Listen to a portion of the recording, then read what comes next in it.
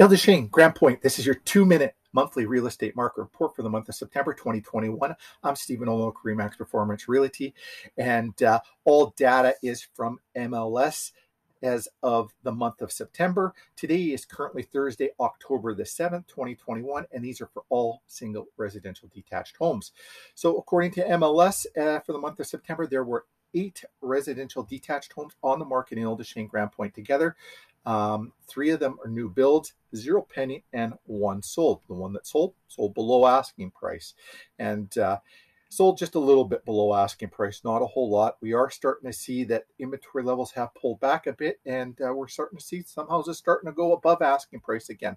Let's take a look at the data. The homes that were listed, average square footage 1,675 of the eight homes on MLS, and the average price or average uh, price was 645,288 and uh, this uh, 1.5 million dollar house throws things off just a little bit.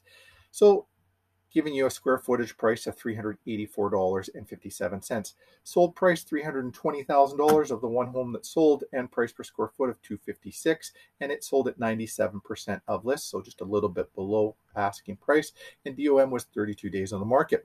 If you're curious of what this data means, if you'd like to take a little deeper dive into it, we can do that. If you're wondering what the data affects your price of your home, and you want to know what your home is worth, we can do a complimentary report on your home and your neighborhood specifically, giving an accurate number of what your home would be worth.